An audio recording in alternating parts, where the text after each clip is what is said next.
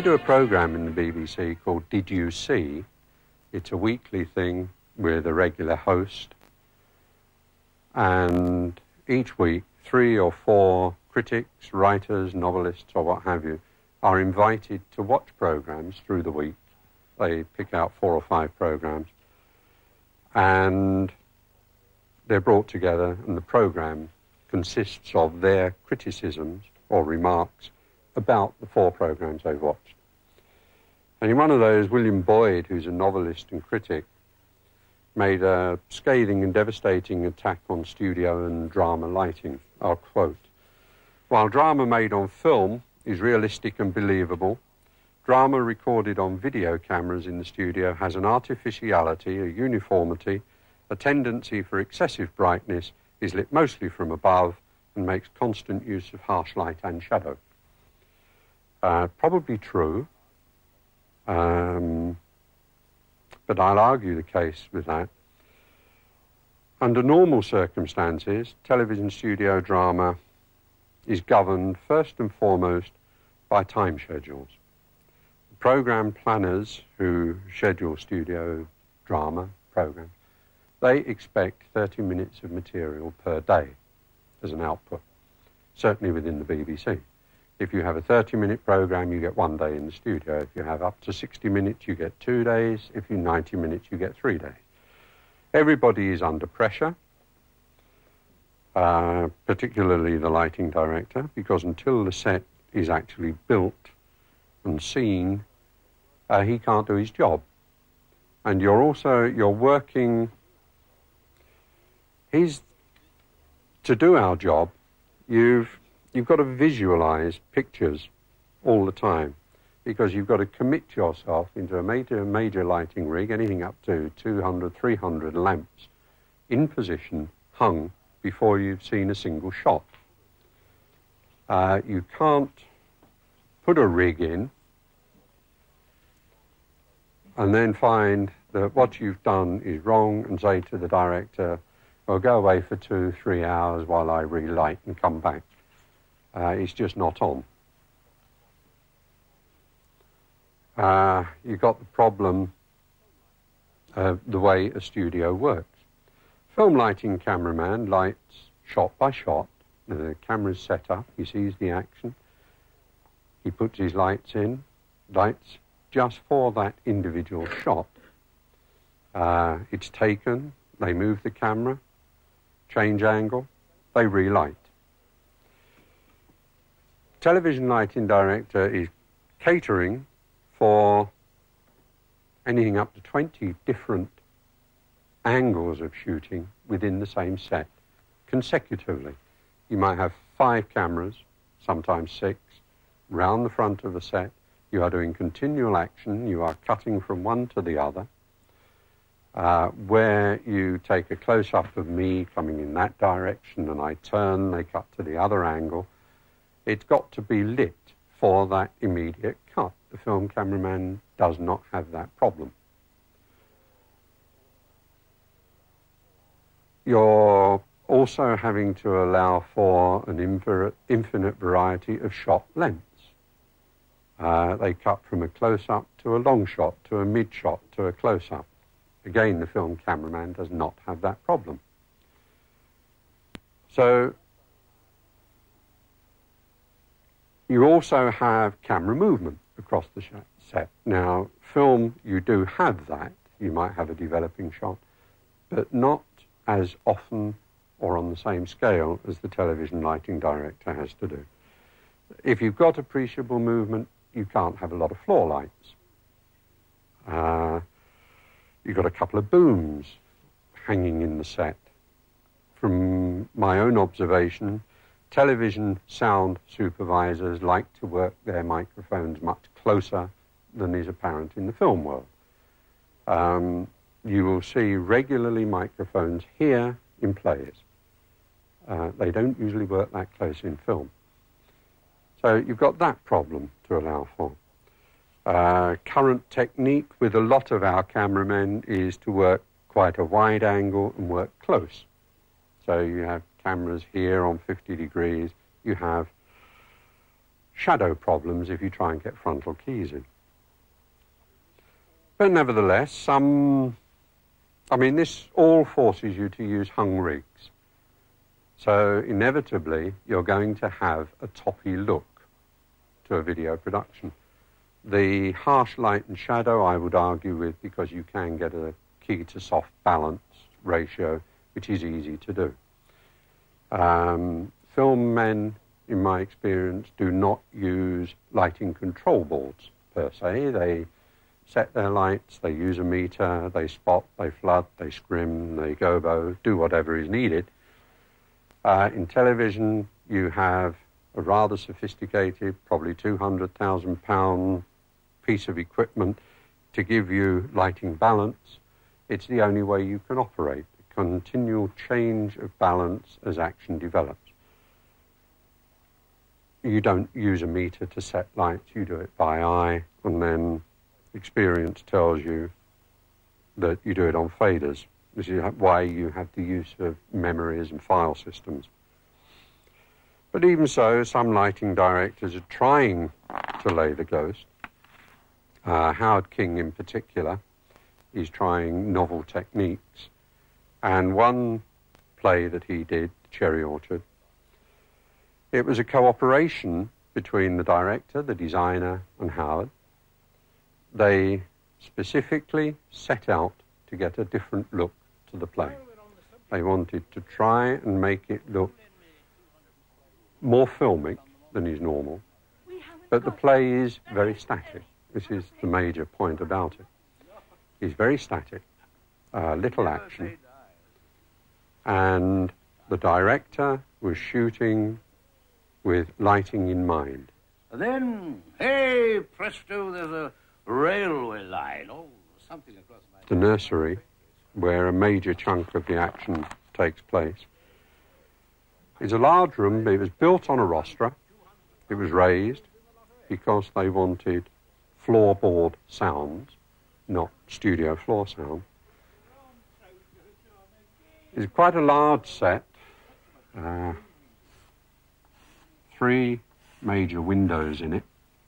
It was a four-wall set uh, on rostra.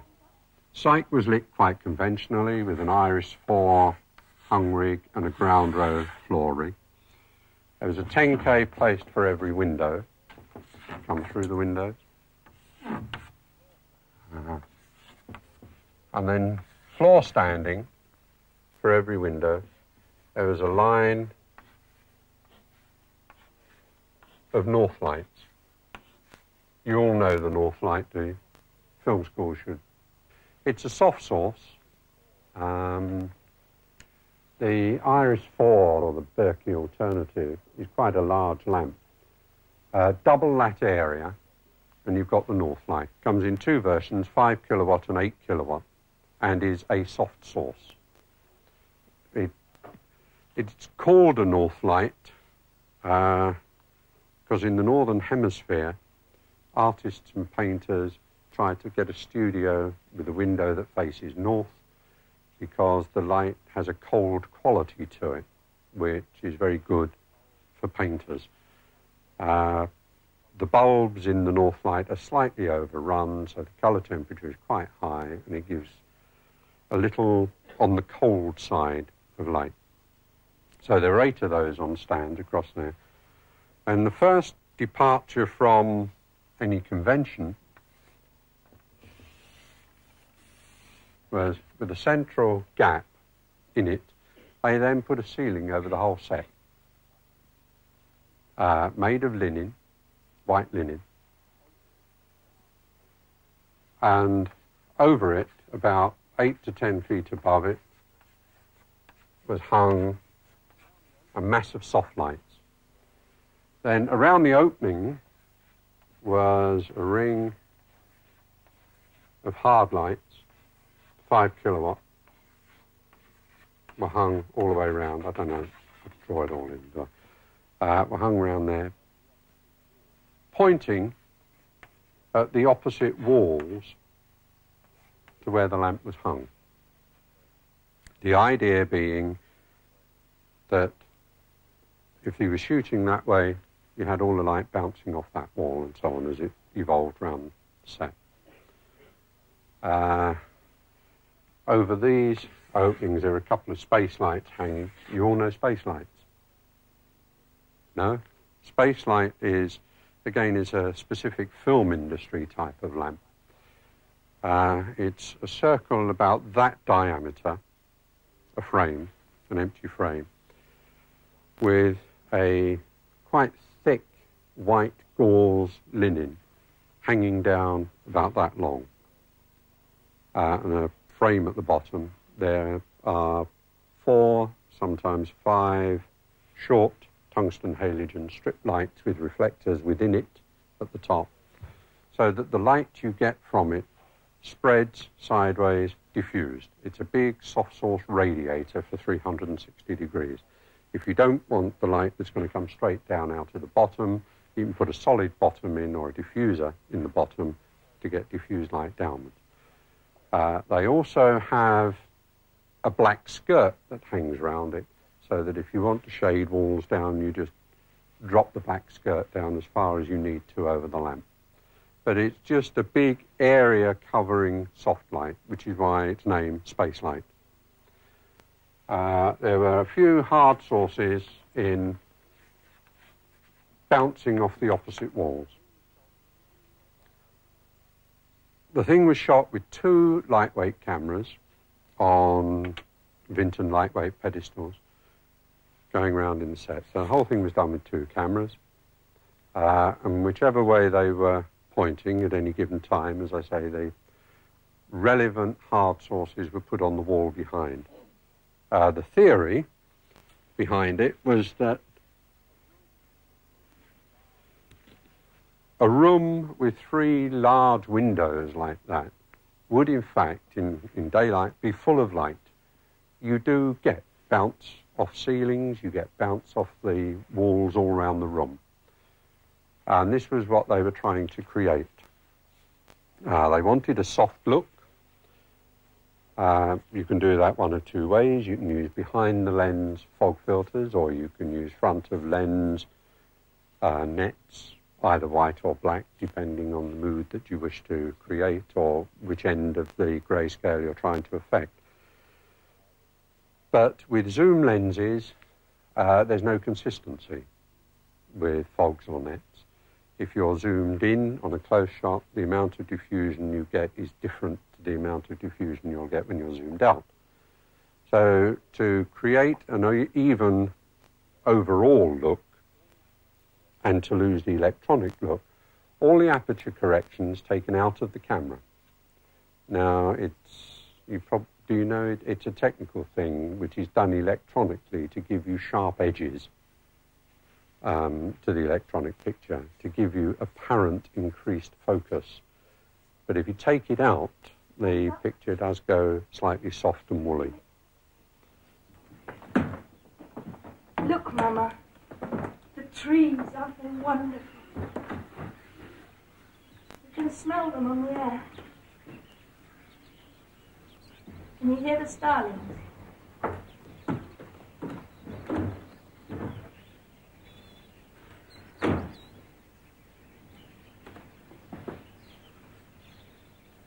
How white Do you remember? On and on the avenue of trees, unending, shining under the moon like a maiden. Next scene that I'll show, and I truncated it because it's, again, is very static, and it works because it's static. Uh, it's a garden scene it actually runs 40 to 45 minutes overall. Uh, in that time, there's a change from late afternoon to dusk, almost into night. I've not included it all because I couldn't see you all sitting there still for 45 minutes. Uh, but it, just to explain what was happening, all the action is on that little bench there. Uh, but the whole studio was converted into the garden. Uh, and it's a studio roughly 100 by 100 feet. So it, it's our biggest studio. Uh, there was cyc all the way round, and it was lit top and bottom cyc uh, with iris 4s and ground row units. Uh, that side of the studio, the colouring of the cyc was in the sort of blues to mauve, purple type range. This side of the cyc was done in the ambers, the apricot, and the orange. There were four 10Ks hung at different heights and one floor stand to give the setting sun. There were crossfades to the different lamps, reducing the height. Uh, over here was a hung HMI. You have a mechanical shutter on the front, Venetian blind shutter, which is closed. And then remotely with servo motors, you can slowly open it, and that controls the light level. Uh, there is now available on the market a form of dimming, an HMI. Um, but it means huge great ballasts and things like that, which isn't easy, but it is now possible. Um, but it's much easier with a hanging lamp to do it with a remote control shutter. Hanging over the middle of the studio, there was a succession of north lights hung all the way around the bench alternating with space lights. The theory being that the sky is a great soft source, which it is. I mean, if it's overcast and you walk around, everything is beautifully soft lit. But e- even in a blue sky, you've got a direct sunshine, direct sunlight shadow, but you still have soft all the way round. Uh, so that was Howard's version of doing that. Uh, there were hard sources dotted around with uh, cut-out frames, uh, outrigger frames, they call them over here. We call them stand-off frames. Uh, I don't see any round here, but I believe you do have them, don't you? Have you ever seen them? They're a square frame that hangs on the front of the lamp. And if you cut, put a sheet of coloured gel in it, you can cut holes in it, and you can get quite nice sort of cloud, puffy white clouds on a cyc. Uh, it was done that way. And a pup on a stand with a small square of polystyrene just to give localized fill in where they were sitting. If cameras were here, you can just you know, put something beside the camera to reflect in. That was the basis of it. Uh, They also used to give an additional softening over and above what the removal of aperture correction gave. They did use white nets on the front of camera to give an added soft diffuse look. Some people don't like it. You know, critics, when we look at the program and talk about it, some people say it's gone too far. The degradation of the picture quality is too far. Uh, and when the light gets quite low, uh, there's almost a French impressionist quality about some of Judi Dench's close-ups. There he robbed me and threw me over and took up with someone else. I tried poisoning myself. I couldn't bear the shame. My life seemed so futile.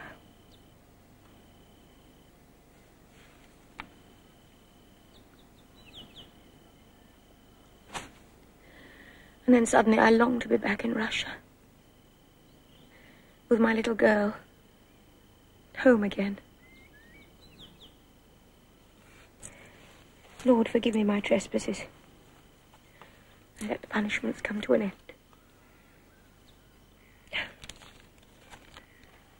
They come every day from Paris. He asks me back. And asks my forgiveness. Is that music I hear? Perhaps it's our famous Jewish orchestra. Do you remember? Three violins, a flute, double bass. Still going. There actually were five key positions in there, five sunlight positions and a moon uh, to give, you know, the setting sun change of colour into each one. I'll move on then, if that's exhausted that one, and go on to a production of Shakespeare's All's Well That Ends Well, which is a totally contrasting technique. Uh, again, the director, Elijah Moshinsky, wanted a different look. So he wanted to, as far as possible, recreate uh, Vermeer type Dutch interiors to the long shots and the look of the play. Primarily, it was lit with hard light, not a lot of soft about. Uh, the first scene, uh, it's again very carefully controlled. Uh, director, designer, lighting are all working together. Uh, contrived situations come up. It's deliberately done. They're almost posed for particular pictures. Uh, in the first piece, you'll see the camera crabs round. It's Helen playing the spinet. And a deliberate departure from reality. Um, it comes round to a profile shot.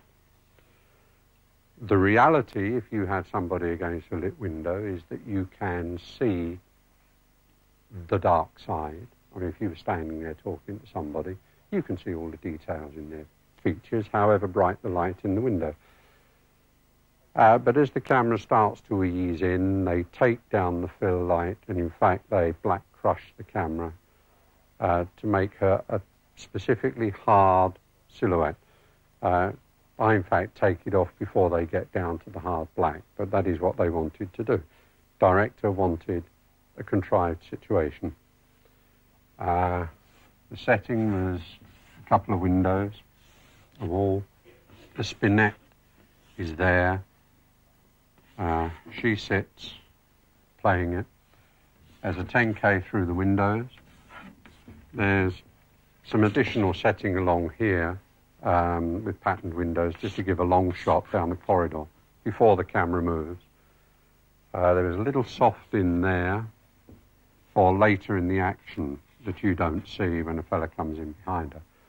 Uh, the camera starts off on a long shot there, crabs round to there, and then tracks into the silhouette. There's a bounce cloth there with some hard into it for the soft. That's all the lighting there is. Different uh, look, different feel, deliberately done, but nevertheless, uh, you like it or you don't. Oh, were that all? I think not on my father. And these great tears grace his remembrance more than those I shed for him. What was he like? I have forgot him. My imagination carries no favourite but Bertram's. I am undone. There is no living none if Bertram be away. Twere all one that I should love a bright particular star and think to wed it. He is so above me. In his bright radiance and collateral light must I be comforted, not in his sphere. The ambition in my love thus plagues itself. The hind that would be mated by the lion must die for love.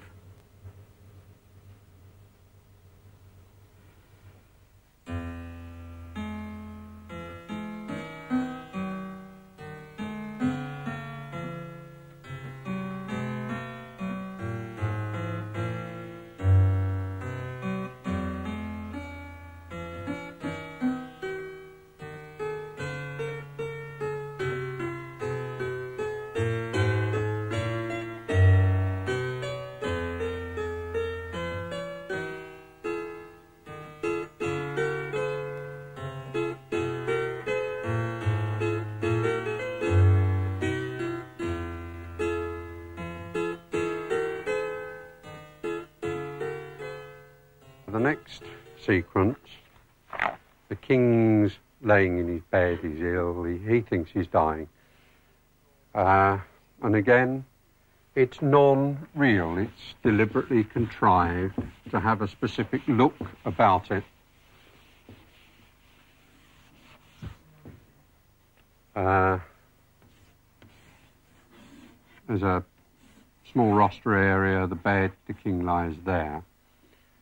Uh, there's curtains around as the backing to the set.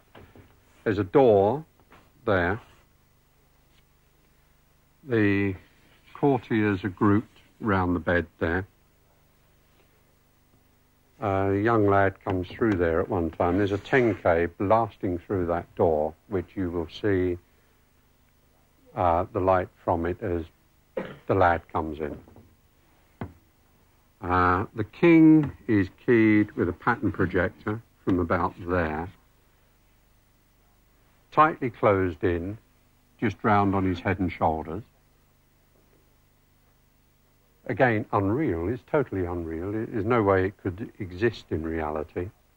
The courtiers are lit from another pattern projector, projector that side, lit as a group. Uh, the doorway is lit with a pattern projector. As he moves forward, there's a floor light, an ordinary tungsten lamp, which underlights his face slightly. What? What's he comes here? It is the Count Rossilian, my good lord. Young Bertram. And there's various lamps with dapples just to give a little lift to the back walls. And that's all that's involved in it. It is totally unreal. There's no way a bedchamber could actually look like that. Uh, and the long shot, I think it's a Rembrandt that they're copying. The next one, there's a long shot.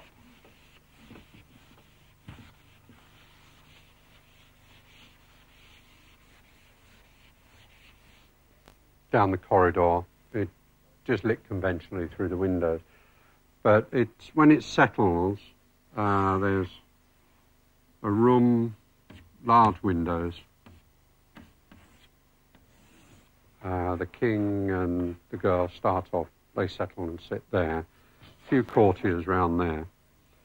Uh, they're keyed with a 10k from there, which is wrong uh, for the light source, the window. Whole group of young men come in and stand round there. And the girl gets up and she sort of walks around amongst them. She's picking her husband she's quite short, they're quite tall. You've got a shadow problem. Uh, so they, John Summers used a whole set of halved keys from the back there. All just straightforward. It's a multiple key technique. Uh, you're not really aware that it's multiple keys. If you're looking for it, then you can see multi shadows as she walks about.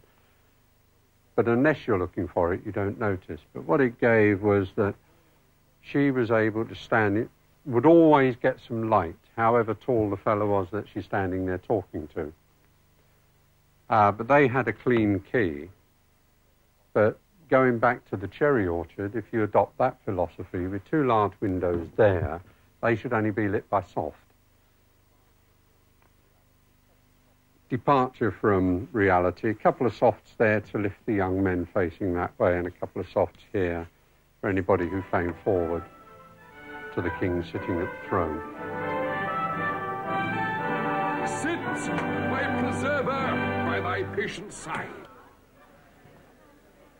With this healthful hand, whose banished sense thou hast repealed, a second time receive the confirmation of my promised gift, which but attends thy naming.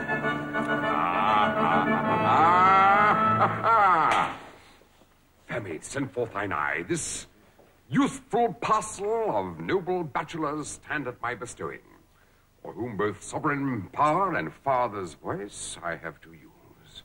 Thy frank election make, thou hast power to choose, and they none to forsake.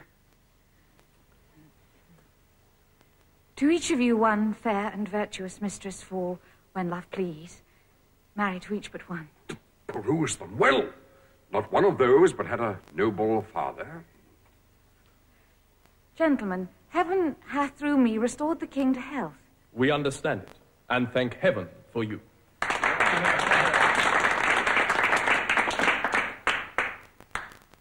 I am a simple maid, and therein wealthiest that I protest I simply am a maid. Please it your majesty, I have done already. The blushes in my cheeks thus whisper me we blush that thou shouldst choose but be refused.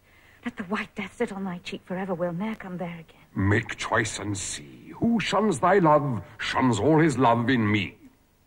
Now, Dian, from thy altar do I fly, and to imperial love, that God most high, my sighs stream. Sir, will you hear my suit? And grant it. Thanks, sir. All the rest is mute. The honour, sir, that flames in your fair eyes before I speak, do threateningly replies. Love make your fortunes twenty times above her that so wishes, and her humble love. No better, if you please. My wish receive, which great love grant, and so I take my leave.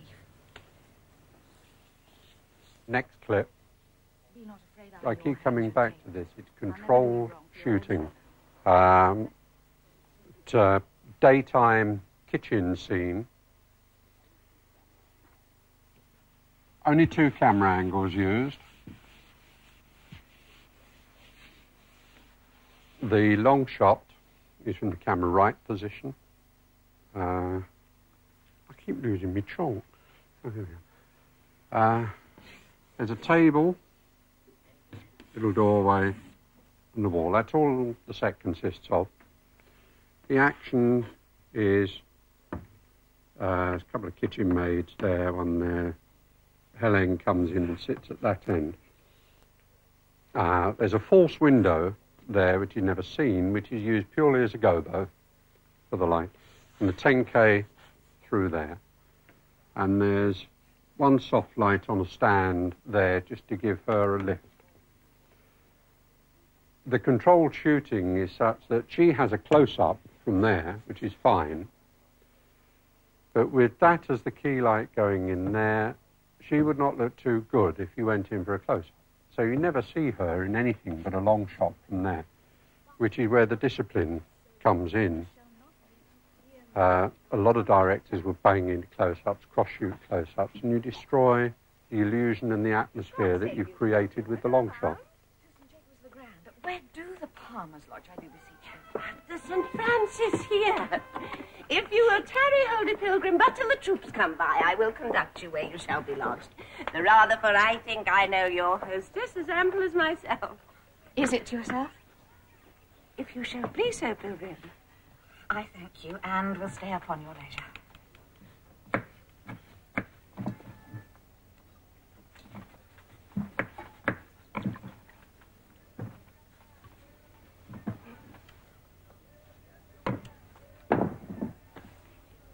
You came, I think, from France. I did, sir. Ah. Here you shall see a countryman of yours has done worthy service. His name, I pray. The Count Rousillon. Know you such a one?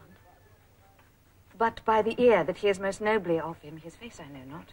Whatsoe'er he is, he's bravely taken here. He stole from Francis, 'tis reported, for the king had married him against his liking.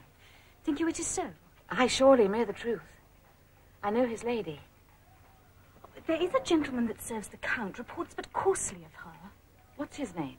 Monsieur Parolles. Oh, I believe with him. In argument of praise or to the worth of the great count himself, she is too mean to have her name repeated. All her deserving is a reserved honesty, and that I have not had examined. Alas, poor lady. 'Tis a hard bondage to become the wife of a detesting lord. Ah, weet, good creature, wheresoe'er she is, her heart weighs sadly. This young maid might do her a shrewd turn if she so chose. How do you mean? Maybe the amorous count solicits her in the unlawful purpose. He does indeed. And brokes with all that can in such a suit corrupt the tender honor of a maid. But she is armed for him and keeps her guard in honestest defense. The gods forbid else. Soon! Now they come!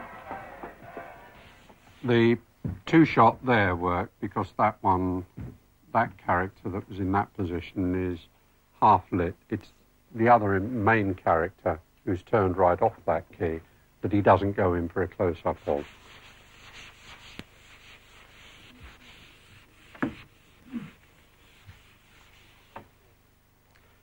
Next piece, a very short one. Two characters start at one side of the camera, they walk to the centre, but their, their finishing position is such that they are facing each other, talking nose to nose. Uh, walls are back there, there's some candelabra on the wall. For no reason at all, in reality, they are cross-lit from the floor. Uh, every lamp in there has got either apricot or orange gel in it. It, if you take it cold, it looks wrong, but it does have a conspiratorial atmosphere to it, which is why it was done, and done quite deliberately. But again, although in the early stage I say you always try and create reality with lighting, in this case, again, you've gone away from it. Unseen that hugs his kicky wicky here at home, spending his manly marrow in her arms, which should sustain the bound and high covet of Mars's fiery steed to other regions. France is a stable, we the dwellings jades, therefore to the war. It shall be so. As you can see, the artists were having problems in keeping each other's shadows off each other, but they're quite well disciplined. Uh, the next little scene is back in that same kitchen, but at night. Uh, the table. There's three women sitting round the table, and one sits in the corner there. Uh, there's a soft light over there to give her a lift, and one single candle light, and that's all, the whole scene. But again, it's controlled, there's only one camera, and he crabs right round the table. I shall lose the grounds I work upon. Though my estate befallen, I was well born, nothing acquainted with these businesses. I could not put my reputation now in any staining act. Nor would I wish you. First give me trust the Count he is my husband, and what to your sworn counsel I have spoken is so from word to word. Then you cannot, by the good aid that I of you shall borrow, err in bestowing it. I should believe you. For you have showed me that which well approves your great infortune. Take this purse of gold, and let me buy your friendly help thus far, which I will overpay and pay again when I have found it. The Count, he woos your daughter, lays down his wanton siege before her beauty, resolved to carry her. Let her, in fine, consent, as will direct her how 'tis best to bear it. Now, his important blood will naught deny that she'll demand. A ring the Count he wears, which downward hath succeeded in his house from son to son, some four or five descents since the first father wore it. This ring he holds in most rich choice, yet in his idle fire to buy his will, it would not seem too dear, howe'er repented after. Now I see the bottom of your purpose. You see it lawful then. It is no more but that your daughter, ere she seems as one, desires this ring. When it's pointed out, is a simple and obvious way of doing it. Uh, a projector bulb from an ordinary slide projector, that big, 24 volt, mounted on a little block of wood with a little aluminium reflector behind it, was sat on the table underneath the candle. That gives enough light to light all three faces as if lit by the candle. You haven't got that age old problem of trying to skate lamps in to give the effect that people used to do. Uh, it's overrun slightly, but it's amazing the amount of light you get out of it in that very carefully contrived and controlled situation. You need something on the table to be able to hide it behind, and you need your shooting to be such that you never see it. Under those circumstances, then it works fairly well. Okay? Just two lamps, whole scene. Uh, the next short sequence, again, it's uh, to illustrate a small effect. Uh, a couple of young lovers kneeling down in front of the fire. Uh, there's a fire back there. They're kneeling on the rug facing each other. And they're in fact lit by some pups on the floor either side with a little bit of soft that side. And those lamps are gelled with straw and amber and fed through a rock board which has a sound to light chase on it. Into that you feed speech. Uh, we usually use Radio 4, which is mainly a talk radio transmission. Feed that into the sound to light, and the variation of speed of speech and pitch of speech then triggers the lights on and off, and it gives you quite a nice fire flicker effect. Stone. No, you should be as your mother was when your sweet self was gone. She then was honest. So should you be? No. My mother did but duty. Such, my lord, as you owe to your wife. No more last of that. one, there's no specific point in trying to draw anything. Again, it's just another specifically set up, staged piece to look like a Dutch interior, but with again a long shot, slow track in development. The director isn't going in and bang, bang, bang, cutting. It's a long, slow piece. Again, contrived.